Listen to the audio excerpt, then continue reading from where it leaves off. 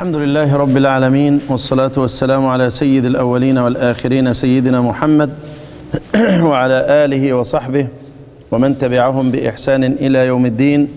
ربنا لا علم لنا إلا ما علمتنا إنك أنت العليم الحكيم.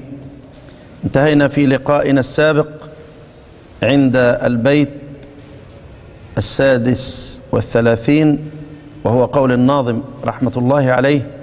وليتلطف على الله ولض والميم من مخمصة ومن مرض. وانتهينا من الكلام في هذا البيت تقريبا. أليس كذلك؟ نعم ولا بلى؟ طيب. ثم قال رحمة الله عليه وباء, وباء برق باطل بهم بذي واحرص على الشدة والجهر الذي.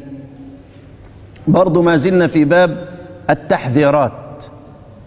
ألفاظ كلمات يحذر الإمام من الوقوع في الخطأ أو إدخال التفخيم على ترقيق أو ترقيق على تفخيم. تحذيرات باب تحذيرات. واللي هو بدايته فرققا مستفلا من أحرفي وحاذرا تفخيم لفظ الألف كهمز الحمد أعوذ وهمز. هناك كهمز في في الطيبة قال كهمز. وهمز الحمد أعوذ اهدنا. الله ثم لام لله لنا وليتلطف وعلى الله ولض والميم من مخمصة ومن مرض وباء وباء برق باطل بهم بذي واحرص على الشدة والجهر الذي باء برق.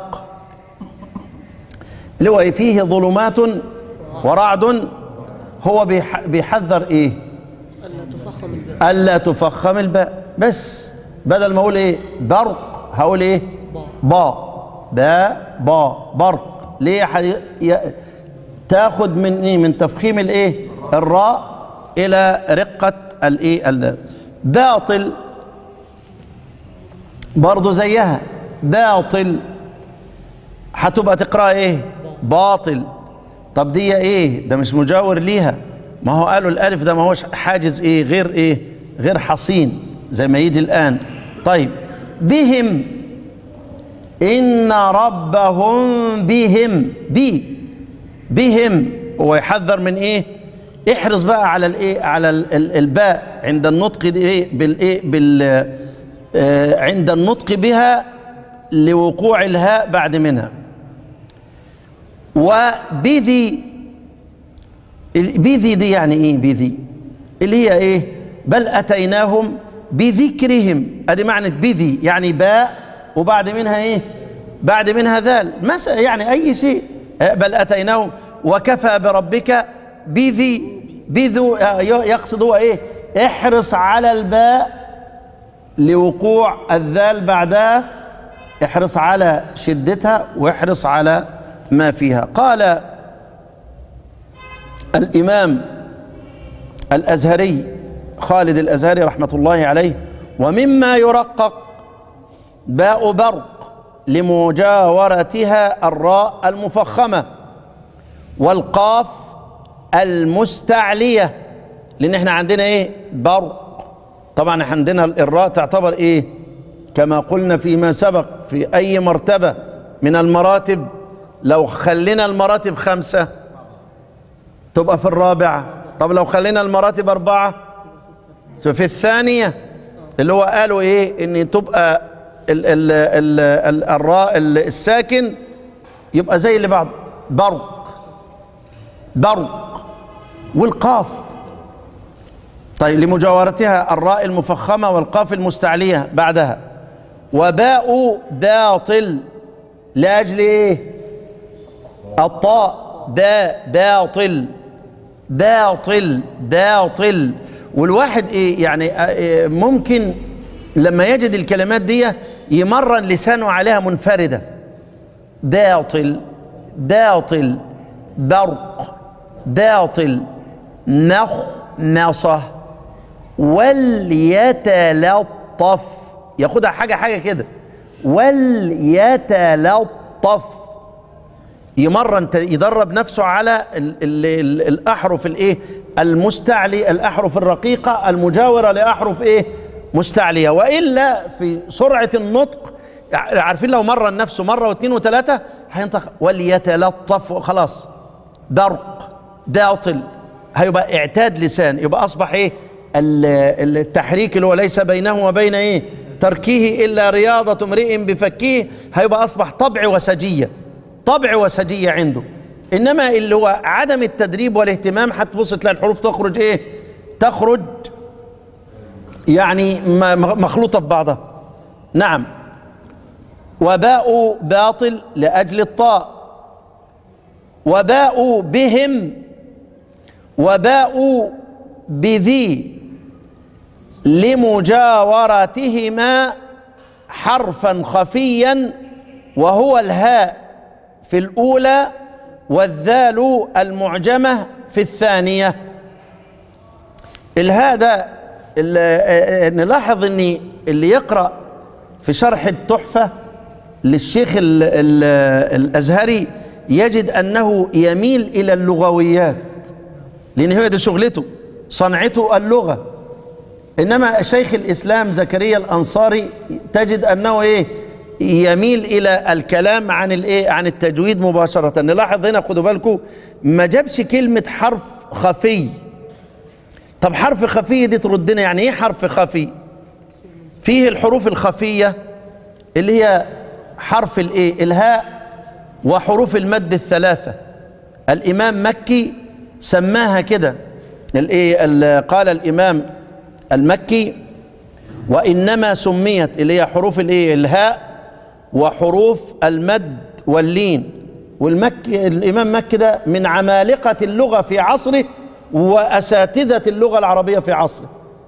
وله مؤلفات يعني لا تحصى وله الكشف في وجوه القراءات وعللها قال أنا قلت لكم هم إيه؟ الهاء وإيه؟ عشان ناخد فكرة. لما تيجي يقول لك إيه؟ الحروف الخفية من الأحرف الخفية. إيه الأحرف الخفية؟ اللي هو الهاء وحروف المد الايه؟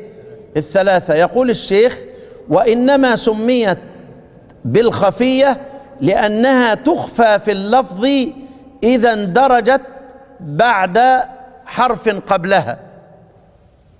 مش إخفاء اللي هو في مفهومنا إحنا. اللي هو إيه؟ من ذا الذي اخفنا الإيه؟ اخفنا الإيه؟ ال- ال- ال- النون. يبقى هو الشيخ هنا الشيخ الأزهري مال إلى اللغة. تعال نشوف الشيخ ال ال الأنصاري قال وباء برق لمجاورة لمجاورتها آه، الجميع المفخم والوباء باطل لمجاورتها الألف الماديه طب هنبص نلاقي هنا خد بالك لمجاورتها هو الشيخ بيقول إيه؟ باء باطل احرص عليها لم- لمجاورتها الألف الماديه طب هي الألف الماديه هتأثر عليها؟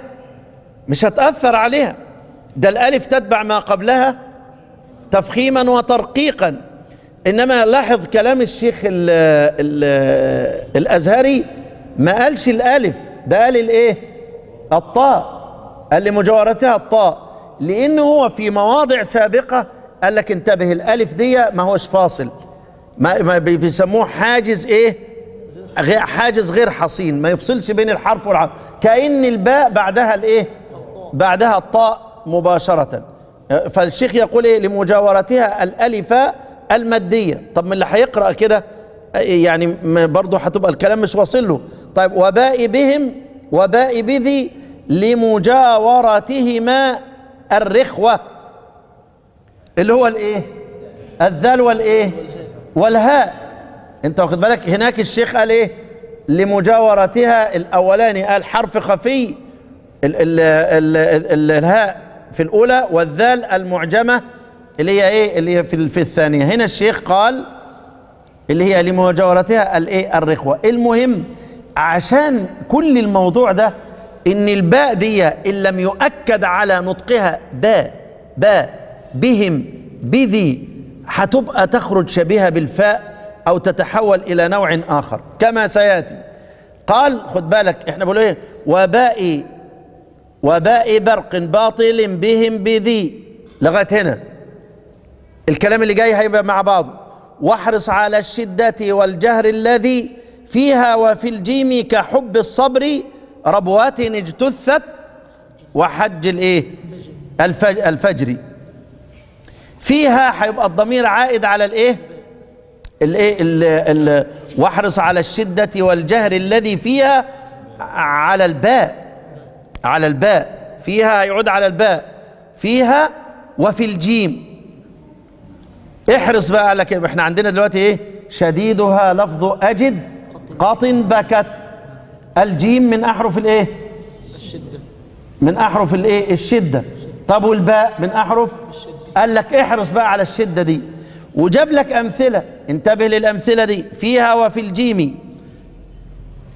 كحب الصبر ربوات اجتثت وحج الفجر يحبونهم كحب الله كحب. الصبر هناخد كلام الشيخ الأزهري قال أمر بالحرص على الشدة والجهر اللذين في الباء والجيم لئلا تشتبه الباء بالفاء والجيم بالشين. إذا عطشت الجيم تعطيش زائد هتبقى دخلت على الإيه؟ الشين. وعندنا إحنا في مصر هنا ناهيك عن بلاد جنوب آه، بلاد المغرب. جاء يقول لك جمال جاء لك. جاء جاء جاء وطبعا اتكلمنا قبل كده إن الجيم دي فيها إيه؟ فيها آه، ده, ده, ده اتسعت فيها. في مننا اللي ينطقها إيه؟ جيم. جيم. شبيهة بالإيه؟ الشين وفي اللي بينطقها إيه؟ جيم. جيم. وفيه اللي بينطقها ديم. وعندنا ديم. وفيه اللي بينطقها ياء. ودول عشت في وسطهم وشرحت لكم أنا قلت لكم قبل كده عارفين الشيخ عايض الجرني بلاد بالجرن اللي هي العلايا والقبائل دي كلها قبائل بالقرن بالكامل ينطقون إلى الآن الجيم ياء إلى الآن إلى الآن. اللي تعيش في وسط البدو دول تروح ينطقوا لك الإيه؟ ال- الجيم ياء يقول لك يريير يريير جر- جريير. وبعدين في عندهم كلمة هناك إيه؟ عبارة التعجب. يا يا يا زي إيه؟ يا راجل. أو معقولة؟ يقول لك إيه؟ يا ريال يا ريال. معناها إيه؟ يا رجال. بلاد بالقرن إلى الآن القرن يقول لك الشيخ عايض القرني الشيخ ال- ال- ال- القبائل دي إلى الآن ينطقون إيه؟ الجيم إيه؟ الجيم الجيم ياء. يبقى عندنا إيه؟ جيم جيم. ومن بلادنا في مصر ينطقون الإيه؟ الجيم اهو قال لك انتبه بقى. أهو برضو الجيم ده من الأحرف اللي برضو حصل فيها نحت وحصل فيها كلام. القاف إخواننا السودانيين مفيش حد قدامنا سوداني. ينطقوها إيه؟ غين خالصة. غالة. ينطقوها غين خالصة. يجمعنا كلنا بقى عرب وعجم. لغة القرآن الكريم. وإلا لو كل واحد حي إيه؟ هي آه هيتكلم أو يقرأ بلهجته هنقول بل تؤثرون الحياة الدنيا ونقول إيه؟ إن الذين مش كده ولا إيه؟ وهتبقى الدنيا تتخبط واللي ينطق الجيم ياء ينطقها ياء واللي ينطق الايه ينطقها دال ينطقها إيه؟ دال. يبقى الجيم دي فيها إيه؟ من ينطقها؟ جيم. معطشة. تدخل على الايه الشين. ما أنا عندي إيه؟ مش دي من, من وسط اللسان. أج أي. وإيه التاني؟ أش. مش كده ولا إيه؟ آه. أج أي أش. أج. أج. أج. فرط فيها بقى. أج. دخلت على الإيه؟ الشين. لأن إحنا عندنا الشين ده حرف إيه؟ بيسموه برضه مستطيل زي الضاد. يعني حرف إيه؟ آه فيه تفشي بينتشر في الإيه؟ فالشيخ هنا يقول أدي معنى الكلام تحذيرات. يعني دول بي بيحذر. انتبه يا قارئ القرآن مرن نفسك على هذه الاحرف وانتبه. خلاص؟ لئلا تشتبه. الباء بالإيه؟ بالفاء. إن ربهم ربهم ربهم. هتدخل على إيه؟ ممكن تدخل بها بالإيه؟ على الفاء. والجيم تدخل على الإيه؟ على الشين. فمن أمثلة الباء قوله الشيخ يقول على على ما جاء في الأبيات يحبونهم يحبونهم كحب الله اللي هي إيه؟ فيها وفي الجيم كحبي كحبي. طيب الصبر وتواصوا وتواصوا وتا و لو خدنا الحرف حرف أقول لك قول إيه؟ واو فتح واو واقولها زي ما أقولها. واو فتحة و هتقول وا و خلاص و تا و و تا واصوا بالصبر. الصبر. يبقى انتبه. ادي الشيخ يحذر. نعم. وإلى ربوة رب ربوة اجتثت. هنا إيه؟ ال ال الباء والجيم. في نفس الوقت. احرص على الشدة الموجودة في الجيم والإيه؟ في الجيم والباء. خلاص؟ ومن أمثلة الجيم قوله اجتثت. من فوق الأرض. اللي هو إيه؟ ربوة. اجتثت. وحج الفجر. حج. ولله على الناس حج. طبعا إحنا عندنا فيها إيه؟ حج وفيها إيه؟ حج. مين اللي قرأ حج؟ ها؟ بس.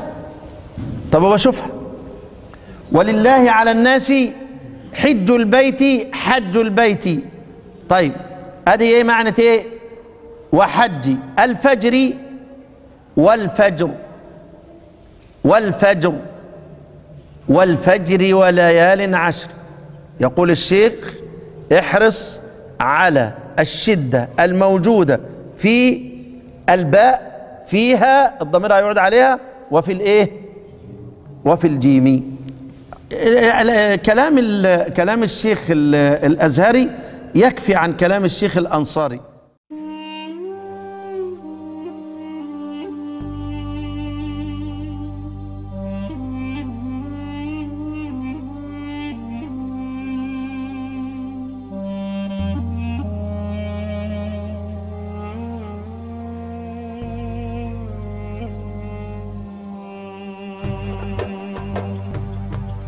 قلبي بالذكر يحيا ويدوم له السرور والرضا في القلب أحيا طمأنة في الصدور.